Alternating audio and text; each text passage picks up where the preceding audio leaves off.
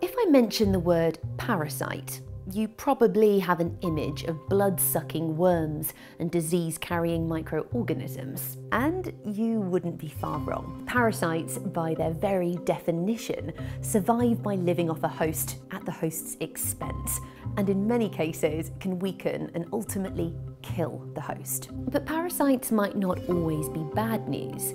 In certain circumstances, they can be harnessed to serve altogether more honourable purposes. The idea of using parasites for gain isn't a new one. Take the humble leech. It's a real bloodsucker, attaching itself to anything fleshy that comes its way, secreting an anaesthetic and opening up a wound to get access to a feast of delicious blood. Great for the leech, but not so great for the unwitting animal as they risk the effects of blood loss and infection of open wounds. But bring the leeches into a more sterile setting, and these suckers can do much more good than their reputation suggests. Though it might sound pretty gross, leeches are now being used in the operating theatre to keep blood flowing during plastic and reconstructive surgery. When body parts are attached, surgeons find it easy to get blood flowing in through the arteries, but not so easy to hook up the veins to get it flowing out again. Attach a leech to the area, and when it bites down, it injects a powerful chemical that stops blood clotting. The wound can bleed for hours and hours, stopping blood from pooling and damaging tissue, and giving the veins time to heal up. So, if you can swallow your squeamishness, the secret to saving a finger is a simple, slimy leech. Even more disgusting, but possibly even more important, are the parasitic worms that live in your gut. I'm not talking about big, fierce looking tapeworms, but microscopic helminths that can wriggle in through your skin or through your food. Yuck. Sounds horrible, but these little critters might just hold the key to keeping allergic reactions and bowel diseases at bay. Until the last few decades, everyone had helminths in their intestines, leaching away at nutrients. Now, in Western countries at least, improved hygiene and sanitation has seriously reduced the amount of infection by these parasitic worms. Good news, you'd think.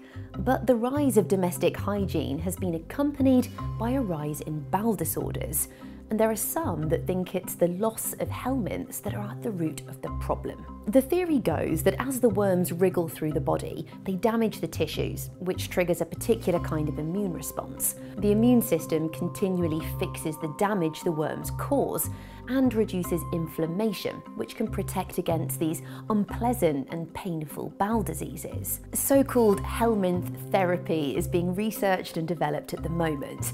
It has promise, but there's a long way to go before scientists fully understand the impacts and benefits of parasitic worms, and hopefully find a way of using them without having to eat the worms or let them crawl through your skin. But parasites are useful to more than human health. Insects are not immune to parasitic infection. Parasitic wasps can target fellow insects and lay their eggs inside them. When the larvae hatch inside the insect's body, they have a ready prepared gourmet meal of insect innards to eat before they have to face the world. The more of these murderous larvae, the fewer insects, so the parasites can and have been used to control insect populations, like in Thailand in 2010, when an outbreak of mealybugs threatened the local cassava crop. Instead of using pesticides, nearly a quarter of a million parasitic wasps were unleashed to specifically target the unwanted bugs, with great success. And killing off insect pests isn't all these parasitic wasps are useful for. With a high tech twist, they can even be used to detect drugs. The small, stingless Microplitis croceipes wasp usually use their antennae to track down their favoured caterpillar hosts by sniffing out a chemical in their poo. But scientists have managed to train them to track down an entirely different chemical, one that doesn't lead to a host, but to illicit drugs. By harnessing these insect instincts and containing the wasps in a portable device, the wasp hound was born able to sniff out not only drugs, but also explosives and even bedbugs. So, while there's no doubt that parasites can still live up to their gruesome reputation, with a little control and plenty of imaginative thinking, they might just be able to redeem themselves.